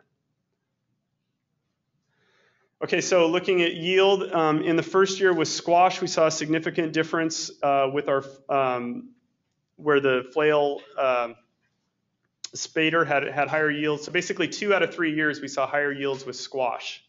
And in the one year, we saw it significantly lower. Um, I think the story here is that there is, we had more potential for, for yield in the squash. I, I believe what happened in 2013, 2013 was um, high, higher weed pressure, basically poor control of the weeds in the, um, in, in the spader plots you know the weeds do really well in in that environment as well not just the crops so if you're not controlling the weeds then they they actually had more of a negative effect on on that those crops we we did a better job of that in 2012 and 2013 and you can see we had higher squash yields in the um, conventional tillage with broccoli uh, oh and then one more thing on the squash so among the reduced tillage treatments, we saw higher yield with the flailed versus the roller crimper. And I, this could be related to nutrients. I think it's probably maybe more related to weeds. It's just easier to control the weeds, weeds in the flailed environment than it is in the rolled environment. Once you've got that mess of, of rolled mulch, it's very hard to um, deal with weeds. So we saw a better um, significant yield with the flailed followed by either strip tilling or um, the planting aid uh, than we did with the roller crimper. With broccoli, we've uh, again broccoli is followed by vetch. It's we haven't seen any significant difference um, in any of the three years with uh, among any of the treatments. There's a lot of variability, uh, but none of the none of the differences were significant. You can see we did quite a bit better job in 2014 of growing broccoli. Um, and again, I, I, think this comes back to weeds, not so much soil quality. It's a shorter crop. Um, it's just it's easier to sort of stay on top of that and um, we do do hand weeding. I don't have that data for you today, but um, the uh, you know it's just easier to to to stay on top of the weeds. And we've grown some really nice uh, broccoli in, in the reduced tillage uh, soils following vetch. And then this shows basically just that the flailing and spading utilize more fuel um, than the alternatives. So more fuel, more time on the on the tractor with the spader, um, and that results in a lot of the things we do out there. I tried I tried to capture you know the major tractor events, and you can see some of them are just the same for um, all of the crops, like soil prep uh, for the cover crop, and then terminating the cover crop. There's a little bit of difference where the uh, flail mower takes more time than the uh, roller crimper did. But then the biggest difference is when you get out that spader versus um, the planting aid or the strip tiller. And you can see the planting aid, we're, we're driving on that uh, cub. So it's just really not using much gas at all. So if you can go out there and just put a little strip, you know, to get your um, transplant in, you're really you're really saving saving a lot of fuel. Okay, so we've done some on-farm studies, and um, we, one was at Let Us Farm, uh, where they have a silt loam soil. We have a fine sandy loam soil at Puyallup, and so you know your mileage may vary depending on your soil. Is one of the things we've learned. So uh, we've had poor success with reduced tillage at uh, Let Us Farm. Um, they uh, basically in those heavier soils, we used the strip tiller there, and uh, the plants just had a hard time getting established uh, in those heavier soils. We've had a lot better success at Kirsop Farm, where they have a, a loamy sand. Um, very, very sandy soils there. So in uh, 2013, this is broccoli. Um, these are whole plants here. Um, and so so a little bit higher uh, broccoli growth, and then kale. He also planted some kale. Uh, no difference there. And then last year, uh, 2014, no difference. Um, again, here we had uh, four replications, so no difference with the flail strip till. This is the vetch at Kirsop Farm that after following flail mowing um, before coming through and strip tilling it and putting the broccoli in. And this uh, bottom right shows the broccoli being grown. So pretty good success there, pretty encouraging um, using vetch and then um, reduced tillage broccoli. So a couple of things uh, that we've learned and where we're going in the future. There's still a lot of grower interest in this. Um, there, the grower interest comes from soil, soil quality, reducing disturbance. Um, one of the things we did at Kirsop is we, we strip tilled some ground that we didn't use for our experiment, and Colin came through and planted uh, cabbage in there. So he was, you know, interested in trying. One of the things he did there that we'll be doing more in the future, there was a lag between when we did the strip tilling and when he planted the um, cabbage. And so he took uh, some of his tillage equipment and, and just did what we would call high residue cultivation. So he had some weeds coming up. He came through and cultivated that underneath the mulch before doing the broccoli, and he had really good success with that. So um, that's one of the things we're looking at in the future is high residue cultivation. Um, you know, we're trying to avoid these situations where we have just a, a plethora of weeds. But um, so growers, I think, aren't running out to adopt this yet, but they're still uh, their interest is still peaked. Um, so thus far, we've only looked at what's called rotational reduced tillage, and what this means is at the end of the year, we come through with our spader and we spade the whole experiment, and then we plant our cash crop. And the reason we do this is because we don't have a, a no-till drill, and we're also very concerned about getting a good cash, a good cover crop, because if we don't have a good cover crop, we're not going to really have, we're going to be sort of out of business. So two years ago, we started experimenting with um, direct seeding the cover crop in the fall. And so this, I just took yesterday, these pictures. Um, so now going forward, we have an experiment which will be a continuous reduced tillage, um, or we're going to call it a conservation tillage experiment. And, and so what we won't be doing in that experiment is coming through in the fall and completely tilling up the ground. So some of those things that I talked about that will take a long time, you know, we're hoping to be able to look at those at least over the next couple of years that we have funding for. So this is no-till uh, rye planted here, and then this is till rye planted into till ground, and they're both looking pretty good. There's there are weeds in there, a lot of uh, miner's lettuce is our weed this this year, and there's a little bit more in the no-till than in the regular till. So that's one of the things we're looking at. On the other side of it, we're also looking at more aggressive tillage in the strip. So we are going to be shelving our Yetter strip tiller for the season, and we are um, very interested in sort of a PTO-driven strip tiller to get. Um, we really want that clean strip, which is what we've always wanted. We just haven't been able to do it with the Yetter. So we experimented last year with a modified um, with a modified walk behind tiller to, to just strip till a nine inch strip. And we had really good success with that. You know, trying to expose that ground, trying to get some of those short term soil quality attributes, um, reduce bulk density, uh, increase the soil, soil temperature, but without turning the whole field upside down to get that just where the plant is.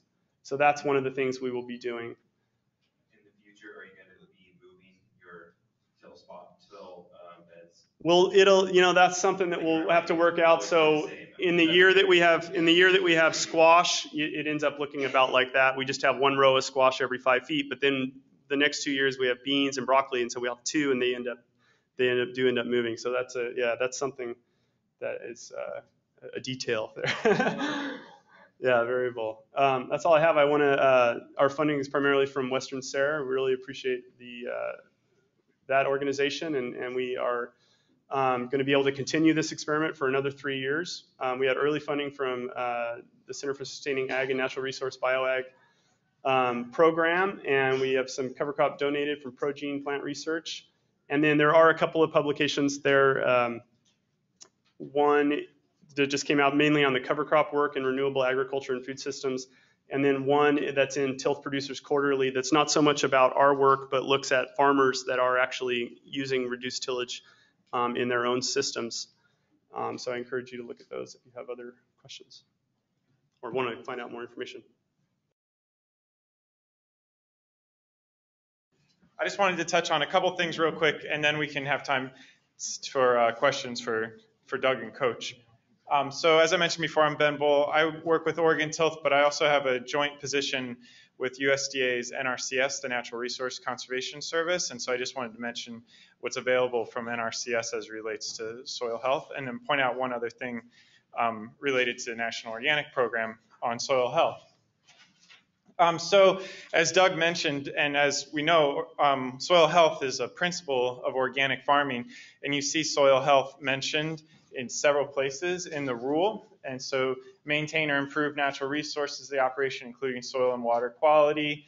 Uh, the rule talks about tillage practices, um, talking about using crop rotations uh, to um, address soil erosion, also in livestock plans, you have to address soil erosion concerns. Um, so I just wanted to point out some current discussion around this. Uh, the National Organic Program became aware of some concerns regarding the use of appropriate soil conservation practices. So prevention of soil erosion, overgrazing, or the way manure was applied. And so they issued a memo to the um, organic, the NOSB um, in April requesting a discussion document and feedback from certifiers related to how certifiers are evaluating soil health on certified organic farms. And so the subcommittee presented at the meeting, the previous NOSB meeting that was in Kentucky, the, the subcommittee presented summary of feedback in October. And so just some of the themes that they heard from producers and from uh, certifiers. Again, that soil conservation is a cornerstone of organic. It is included in organic system plans, and inspectors do look for um, look at that when they're out doing an inspection. There's a possible need for some training related to conservation practices for certifiers. And then um, certifiers are, cert- are currently using more qualitative methods during inspections to think about soil health. And those are sort of things like visual observation, looking at harvest records, uh, production practices. Um, and they're not using tools such as NRCS has, which is modeling soil erosion and modeling increases in soil organic matter and all this stuff. This is of very consistent with how the organic program works, that it's a process based. Um, and uh, then there was also a little bit of discussion about the connection to the broader biodiversity natural resource guidance, which is also forthcoming from the National Organic Program. Um, so they did identify some opportunities. So some opportunity to maybe improve consistency among certifiers in how soil health and soil conservation practices are assessed when they're during an inspection. Also, a possible opportunity to do training or education for inspectors around soil conservation and potentially partnering with an organization like NRCS, which has its roots in soil conservation, and those people are experts in those topics. Um, there was a discussion about possibly focusing one inspection on soil conservation every few years to sort of target that um, specific piece of the inspection. And so this subcommittee is working on a proposal that'll be presented at the April meeting for the National Organic Standards Board. So that was just an awareness thing that as you know it's part of organic soil health is a fundamental part of organic agriculture and the NOP and NOSB are exploring um, what that really means and, and if there's more opportunities around that. So it's sort of a, again, timely topic. And just wanted to point out that there is some financial and technical assistance available to work on soil health um, practices on farms. And so who's familiar with NRCS?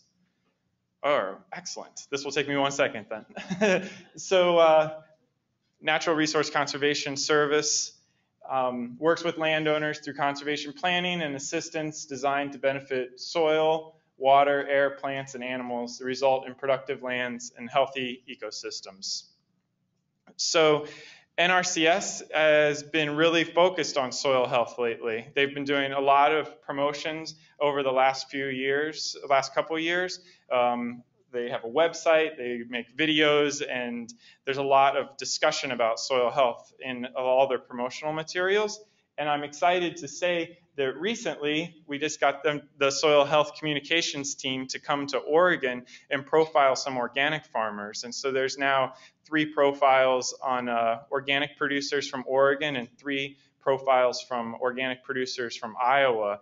And so that's a really exciting thing that NRCS is now featuring them. And they've had them up on their national website showing this is um, Square, Square Peg Farm, not far from here. Forest Grove, Oregon was one of the ones featured. And they're talking about soil health and organic farming, which is really cool, I think. It is very exciting that they're interested in talking about it. And one way I think producers can access that support is through the EQIP program, the Environmental Quality Incentives Program, which works to um, implement conservation practices that address natural resources such as soil. And so just briefly, um, how that program works is producers who want conservation assistance can sign up uh, with NRCS, develop a conservation plan where they identify resource concerns and then um, opportunities to implement practices to address some of those resource concerns on a farm. Uh, so a, a, resource concern is a sort of a degradation of a, a, resource on the farm. And these resource concerns are sort of the basis of a conservation plan and the basis of implementing other practices and getting that financial and technical assistance that's available. So the resource concerns, there's several of them that are related to soil. So soil erosion, uh, soil quality degradation, um, also plant condition, and then there are a lot of conservation practices that NRCS provides technical assistance and funding to implement um, if they meet certain standards. And so some of those practices are, are compost facilities and mulch, irrigation, nutrient management, um, pasture management, pollinator habitat, cover cropping. And so there's a lot of things very closely related to soil health that is available from NRCS so crop rotation, mulch, conservation buffers, so sort of filter strips that could help address erosion, nutrient management, um, pest management, which would include addressing weed concerns, which is, as Doug was mentioning, is closely related to um, soil health and tillage. Uh, so re residue and tillage management, prescribed grazing. Um, so just to mention that they the cost that's paid from NRCS is based on the typical cost to implement one of those practices, and that there are uh, higher rates for beginning farmers or limited resource producers, and there are oftentimes higher rates for organic producers. And there's an organic scenario, which, for example, like in cover crop, would recognize the higher cost of organic seed or something like that. Um, in the general EQIP, you can get paid up to $450,000 over a contract of a five-year period, and there is an organic initiative, which is uh, you would just be competing with organic producers, and it has a lower um, contract limit. It's $80,000 over several years and $20,000 annually. But uh, if you were doing some things like cover crop and nutrient management, you could still get a lot of support at that level. Um, and so the practices have to meet certain specifications. So it's not just cover crop in any sense, it's cover crop as defined by this. And so there'll be certain um, rules related to when you can terminate them or when you plant them and those sorts of things. But in general, it could fit into the system. And here just was one example of, cover crop. And it, see, some of the purposes are to increase soil organic matter, um, recycle nutrients, weed suppression, and so a lot of things that we were talking about fit well with, within the purposes there. And just to give you a sense of how the payments work, this is the, this year for Oregon, the payment schedule for cover crop. The, so this is the estimated cost, this is what you would be paid, and it's based on how much they estimate that it would cost. And so you can see the OI is for organic, so if you were doing a general purpose cover crop organic, it's like $133 per acre. That cost is including seed bed preparation, seeding operation, and the actual seed. So just to give a sense of what would be available. And the, you can sign up year round, but there are um, ranking deadlines, cutoff periods, and there's one coming up for Oregon March 20th. And so there's still time to go into the local NRCS office for this year. And you can just contact your local office. Uh, you can find the contact information online. And also, NRCS is going to have a booth here. The Oregon office is going to have a booth here this weekend. And so you could talk with the NRCS folks that will be here as well. And we have the state agronomist from NRCS in the front row too. and um, this is a new flyer that we have out, out outside on our on the Oregon Tilth table as well. But this is a, just the type of um, assistance that's available also to help producers transition to organic from conventional. So this is NRCS assistance that's available. So it's also someone designed it not in uh, standard USDA government look, which is equal, which is equally exciting. so, so uh, I would not necessarily questions for me, but also for Doug and Coach as we have time here. If you guys want to jump up so you can answer on the microphone, that would be great. So open up for questions. Yeah. Just a note, please repeat the question. Yep, and I'll repeat the question, or people can come up to the microphone up here if you, if you're close enough to. Yes, question in the back. My question was about the no-till. Yeah, we, we don't have a lot of uh, experience with it. Um, the question was, thanks, Lindsay.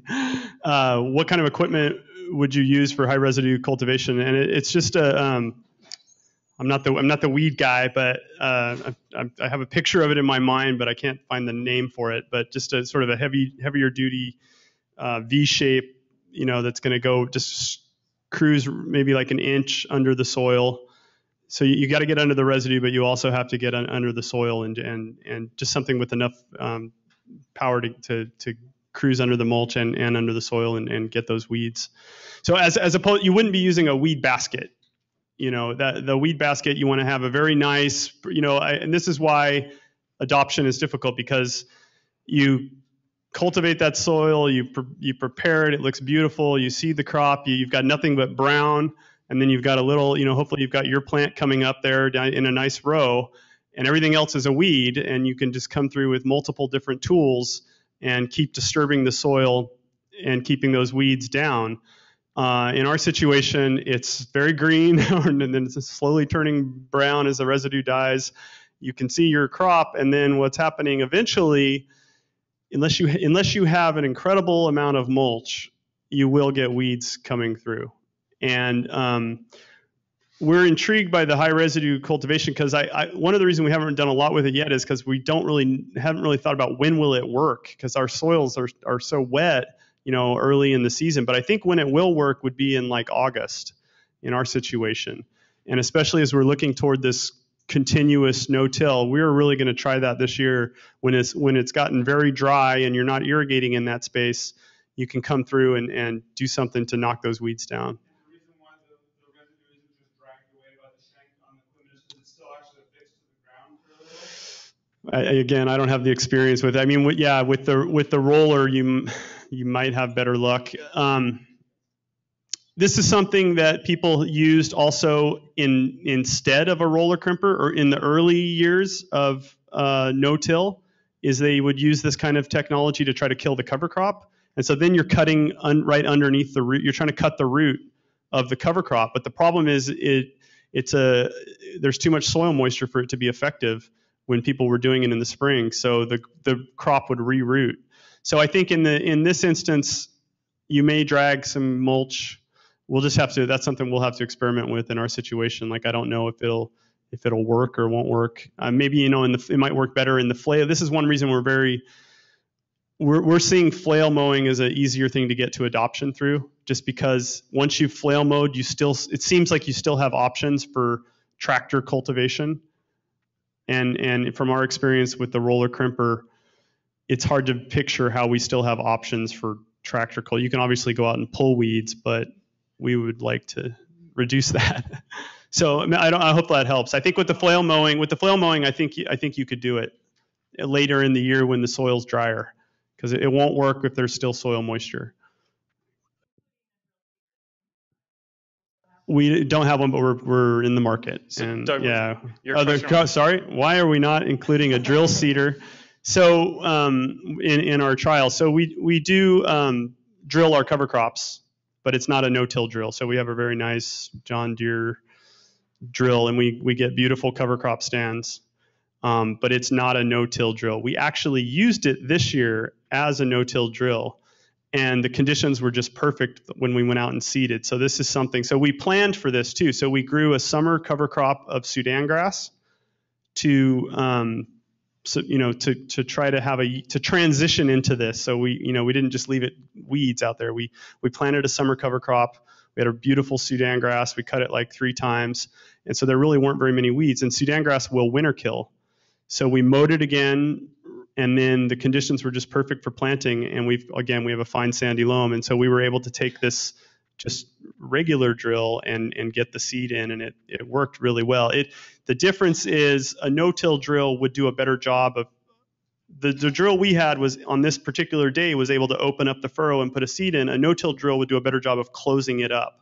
So the drill we have is designed to it's it's you know it's it's thinking that you've you've got nice tilled soil, so it just it has like these little um, loops that just drag behind, and they, it doesn't take much to cover the soil in a till situation. So a no-till drill does a better job of closing that that back up. So we will have one by um, this fall uh, when we when we continue this experiment. Well, um, To explain more the- can I explain more about uh, carbon dioxide respiration? Is it a good thing? Is it a bad thing? Uh, does it make roots grow? Um, you know, Coach actually, uh, it, it gets back to photosynthesis. I think uh, Coach showed sort of the basic um, carbon cycle. Um, there's carbon dioxide in the atmosphere. Plants take it in. Um, so then the sugars are are going into the soil, as Coach as Coach mentioned, and then it's the microbes in the soil, the bacteria and fungi, are converting those sugars into biomass. So they're going to take some of that carbon to make their own bodies, but in the process, we we have what's called respiration. Um, you know, it's just like when we breathe in and then and we breathe out. The the, the air we breathe out has more carbon dioxide, so we're all part of the problem. Um, so the air we breathe out has more carbon dioxide in it than the air we breathe in, and um, that's basically what's going on in the soil. So that elevated CO2 in the soil um, I don't think it's a good thing or a bad thing. I think you know plants are probably adapted to it, but um, it you don't have the same kind of gas exchange. Uh, gas exchange is slowed down a bit because of the soil itself, so you can get sort of pockets of of higher CO2 uh, in the soil atmosphere. Not sure what that means on a sort of a mass balance scale. I haven't, you know, lower. So he, the comment was that lower uh, organic matter soils have higher respiration. I, I don't know. I mean, I think you know, there's we've we've tried to capture that initial bloom of CO2, but I think you know, again, I mentioned that was probably a physical process. But then what we're also interested in what's what's happening after that. And so what's happening after that? We have higher soil temperatures. We've exposed a lot of organic matter, and so we see more respiration throughout the whole season. So that soil is not, you know, it's not. You're not really sequestering. You're not sequestering carbon as well as you could in a reduced till system if you're tilling it. You're break, you know, you're you're exposing organic matter, and then we're talking about a biological process. And I don't know why I would that would be counter to what I would assume that you know, um, but maybe this it has to do with management or something. Uh, so the question is, what's the fate of the CO2? Um, you know, the CO2 we're measuring is, I, you know, with the method we're using, I think that CO2 is going into the atmosphere. Um, probably, you know, and on our little experiment, it's probably not, you know, it's not affecting the global CO2. But, no, I, no, we're measuring above the mulch, so we're measuring above the soil. In, in, in both instances, we're measuring CO2 that's going into the atmosphere. So, yeah.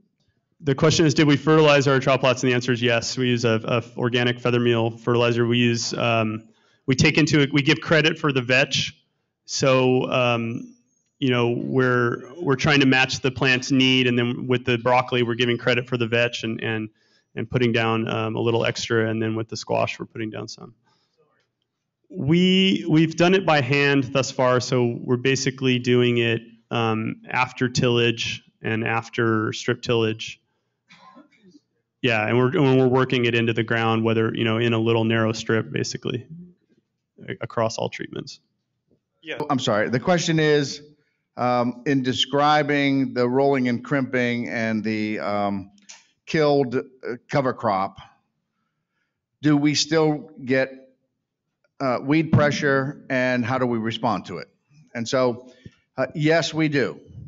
How do we respond to it? We, we live with weeds because it's the Rodale Institute and those are all uh, research plots. And so we use the weeds as another indicator of how well our cover crop worked, how well the roller crimper, the same, same as the uh, research that Doug is doing. And I think there's an overwhelming need for more research. So what happens, as Doug said too, you know, what, what happens in, in Oregon is different from what happens in Pennsylvania. The cover crops are different. Uh, the timing is really critical for the roller crimper. And if you, if you miss the timing uh, when that plant goes to seed and whether uh, that, that seed's ready to germinate when it hits the soil, then you get weed pressure. We also have areas where uh, we have um, water that comes in and kills cover crop. And then we have tons of weed pressure because there's, there's no weed barrier there.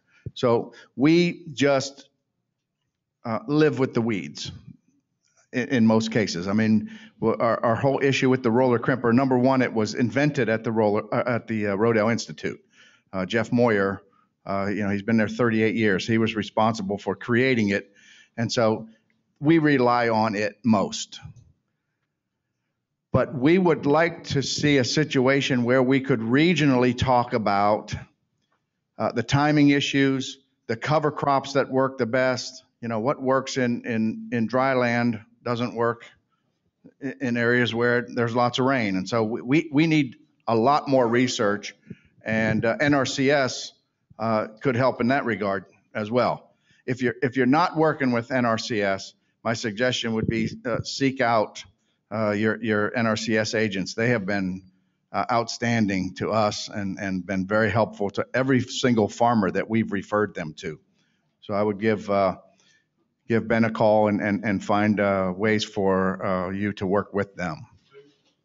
I, I just want to make another comment on the mulch versus weeds issue. Um, so the, this is something that in the research community, there's been a lot of discussion about. Is there a magic number that if I get this amount of biomass, then I'm going to suppress all of the weeds? And so, you know, 7,000 pounds per acre, 10,000 pounds per acre, 14,000 pounds per acre.